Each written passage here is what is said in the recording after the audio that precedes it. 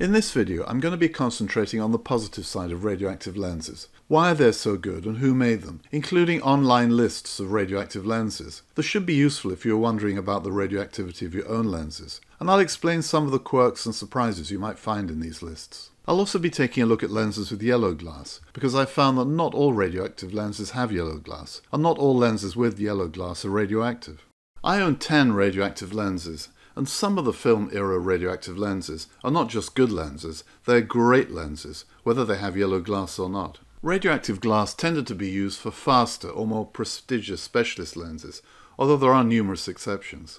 In my collection of radioactive lenses, I have the fastest M42 lens made, the Tomioka 55 f1.2. It was sold under different brands, this one is an Auto Revuenon, and two other Tomioka made lenses, the Yashica Yashinon DS50 1.7 and this Mamiya Sekor 55 f1.4, a similar lens to the much admired and also radioactive Auto Rikenon, and then the excellent Carl Zeiss Jena Pancolar 50 f1.8, a really good lens. Its big sibling is the Pancolar 55 f1.4, a rare lens in all senses, and possibly one of the most impressive and also most radioactive lenses ever made. And the rest are the Takumar lenses, including this legendary Super Takumar 50 f1.4, the 8 element version.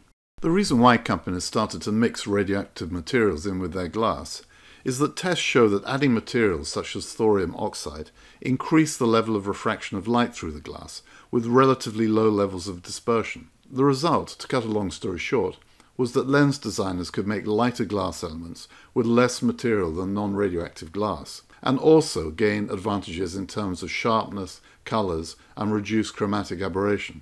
And with this discovery, a lot of brands around the world started to make and sell lenses with radioactive glass, beginning in earnest in the mid-1940s with Kodak lenses, and continuing for another 30 years or more. This wasn't something that happened only for a short period of time.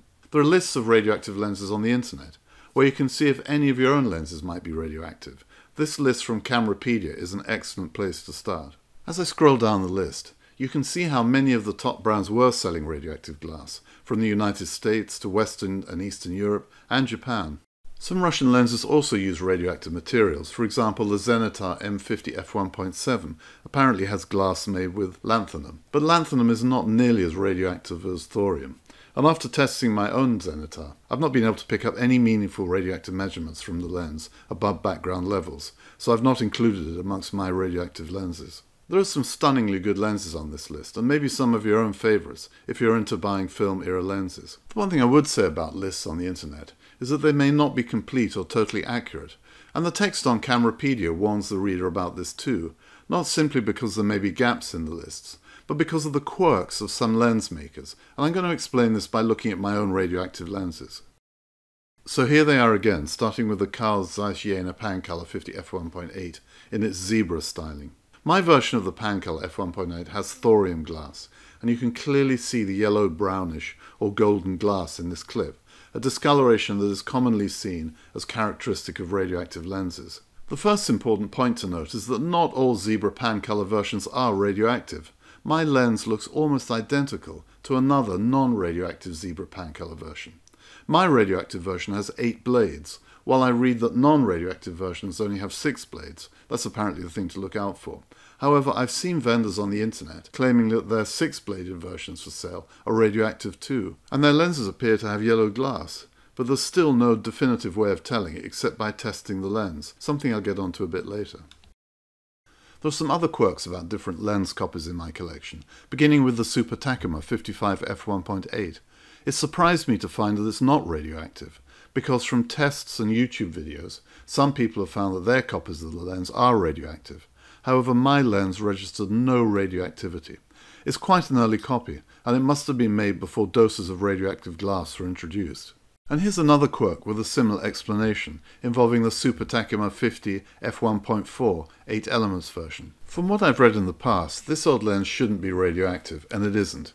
The old 8 elements version was subsequently replaced with a 7 elements version, and some of these 7 elements versions are radioactive. For example, the super multi-coated Takumar and the SMC versions, they're definitely radioactive, as are some of these 7 element super Takumar versions. I'm lucky enough to own two copies of the old 8 elements lens. They are the same type, but my later copy does in fact have some radioactive glass, Not a lot, but it's there. Again, something introduced in later copies of the same lens version. This variation gives me the opportunity to observe how the two lenses perform. The same design, but one with radioactive glass and one without. And interestingly, I have noticed a slight difference. I noticed it before I knew the second version was radioactive. Stop down, my second version, the radioactive one, seems to me to be slightly sharper and the rendering is slightly better, including the colours.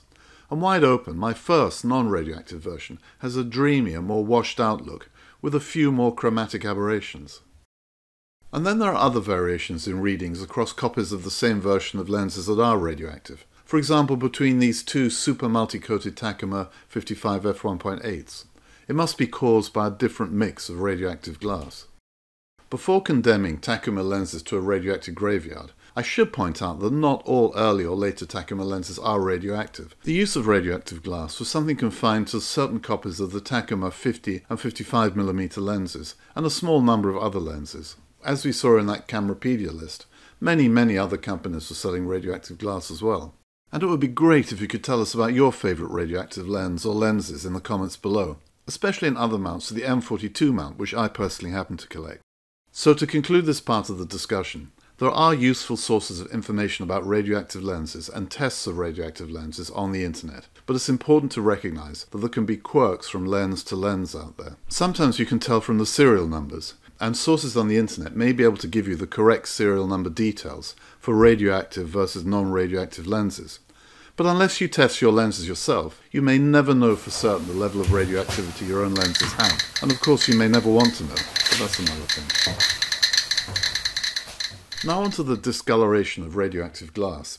Over many years, the radioactive particles in the glass can turn the glass a sort of yellowy brown or golden colour. You can see it here in this photo, or more dramatically in this photo, where I put some lighting under the lens to accentuate the colorings. This discoloration, commonly known as yellowing, can have a significant impact on images, an impact that was not part of the original intention of the lens designers. The lenses when new had clear glass, and indeed the discoloration can slow down the speed of a fast 50, so in reality an f1.4 fast lens is not as fast as that anymore.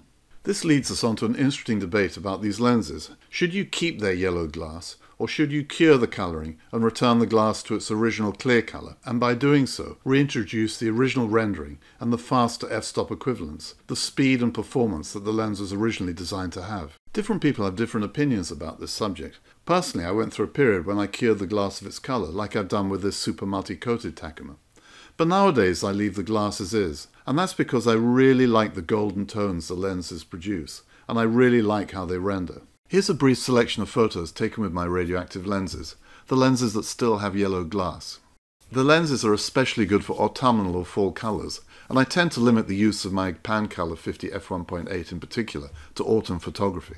If you keep the discoloration of your radioactive lenses, you can always process the tones out and give the images a more conventional white balance. On the other hand, I find it much harder to recreate the golden tones if the image is not taken with the yellow glass. I've also found that using a yellow filter is not remotely the same. It doesn't generate the warmer colours I can get from the golden tones of yellowed radioactive glass. Filters simply don't give the same kind of look. If you do have a yellowed lens and you want to clear it, it's quite an easy process. You simply need to leave the glass out in the sunshine for long enough for the colouring to disappear, or an easier approach is to buy a lamp that emits UV light. This IKEA lamp works really well. I put a piece of aluminium foil behind the lens, and after a couple of days exposure in total at both ends, the yellowing is gone. You can see the difference in the glass between these two lenses, lenses that have similar and quite high levels of radioactivity. Obviously the Takumar has been de-yellowed and the Tomioka hasn't. It's quite a contrast. An important observation here is that not all radioactive lenses have yellow glass, especially, that is, if people have de-yellowed them.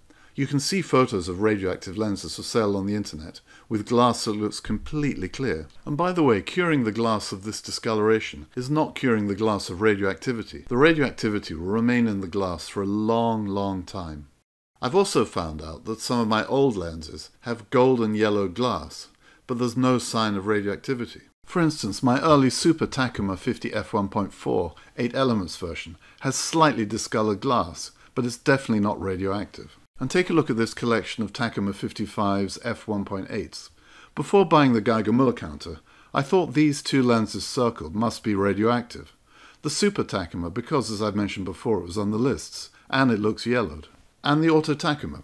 With this photo, where the golden colours are somewhat exaggerated to be fair, it's not surprising that I thought it was radioactive. But it's not radioactive, or if it is, it has no measurable beta or gamma radiation using my Geiger-Müller counter.